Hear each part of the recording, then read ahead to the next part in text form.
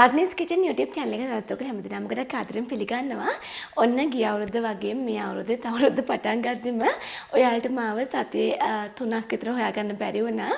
ඉතින් ඇත්තටම මගෙත් එක්ක සම්බන්ධ වෙලා ඉන්න අය සහ මගේ හිතවත් YouTubers ගොඩාක් දෙනෙක් බය වෙලා තිබුණා මේ බුෂ් ෆයර් නිසා මට මොකයි ප්‍රශ්නයක්ද කියලා. ඉතින් ඒ නිසා ගොඩාක් දෙනෙක් මට මේල් දාලා තිබුණා, වගේ මැසේජ් දාලා තිබුණා. මං හොඳින්ද කියලා අහලා. ඉතින් ඇත්තටම තෙරුවන් සරණින් මට බුෂ් ෆයර් වලින් නම් ප්‍රශ්නයක් ප්‍රශ්නයක් වුණේ නැහැ. ඇතට මොනේ අවුරුදු පටන් ගද්දිම හස්බන්ඩ් මෙහෙ ගවර්න්මන්ට් ජොබ් එකක් හම්බුණා. ඉතින් ඒ නිසා අපිට හිටපු පළාතෙන් වෙනත් පළාතකට මාරු වෙන්න වුණා. ඉතින් ඒ නිසා මට එද්දී බඩු ටික අපේ තිබ්බ බඩු ටික පැක් කරගන්න, ආයි බඩු ටික මෙහෙ ගෙනල්ලා හරියට තියාගන්න. ඉතින් මේ හැම දෙයකම ලොකු කාලයක් ගියා. ඇත්තටම මේ පරපර ක්‍රිස්මස් සෙලිබ්‍රේට් කරගන්න බැරි වුණා හරියට. මොකද ඒ වැඩවලට අපි බිසි වුණ නිසා. ඉතින් කොහොම වුණත් ඔන්නේ වැඩ කටයුතු ඔක්කොම ඉවරයි. මම දැන් වැඩ පටන් අරන් තියෙන අය අලුතෙන්. ඒ නිසා අවුරුද්දේ ඔයගොල්ලන් පළවෙනිම වීඩියෝ එක ගොඩක් සුවිශේෂී වීඩියෝ එකක් දෙන්න ඕනේ කියලා හිතුවා. විශේෂයෙන් ඇත්තටම මෙහි සහ ලංකාවෙන් පිට ඉන්න ගොඩාක් දෙනෙක් මගෙන් අහලා තිබුණා ගොඩක් වෙලාවට පිට රටවල් වල ඉන්න ගොඩක් දෙනෙක්ට ලංකාවේ එළවලු පළවර්ග හොයාගන්න නැහැ.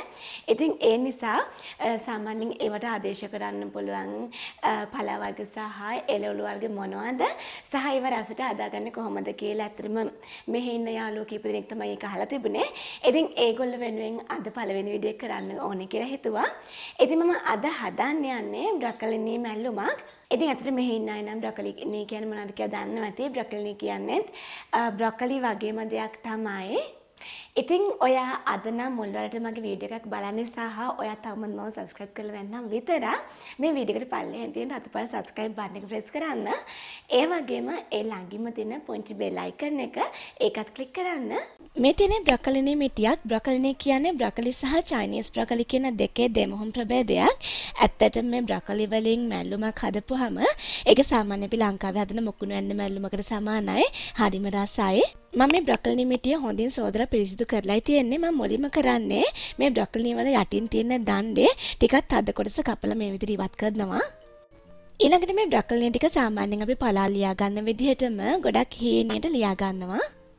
මේක මේ දණ්ඩ කොටස ටිකක් තදට වගේ පෙනුනට මේක ගොඩක් ඉක්මනින් තැම්බෙනවා. ඒ නිසා මේ දණ්ඩ කොටසත් මේ විදිහටම හීනියට කපලා ගන්න.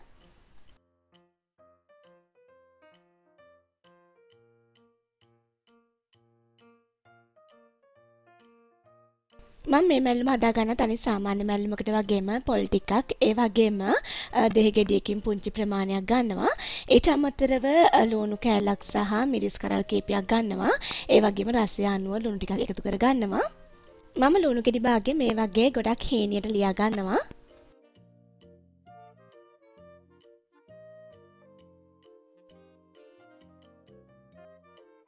ඊළඟට මිරිස් කරලත් මේ වගේ හේනියට ලියා ගන්නවා.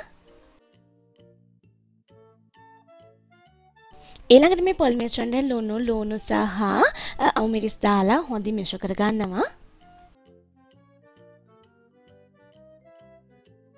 දැන් මම කරන්නේ මැල්ලුම හදාගන්න භාජනයට ලියාගත බ්‍රොකලින් ටික සහ පොල් මිශ්‍රණය දානවා.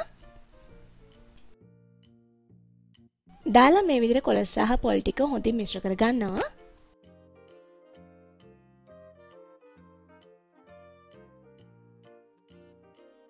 දැන් මම මේක ලිපේ තියලා අඩු ගෙන්දරේ මේකේ අමු ගතිය අඩු වෙනකම් මලව ගන්නවා. මැල්ලු මලවදී ගොඩාක් පාට වෙනස් වෙනකම් මලව ගන්න එපා. සාමාන්‍ය යාන්තම් අමු ගතිය විතරක් ඉවත් වෙනකම් මලව ගන්න.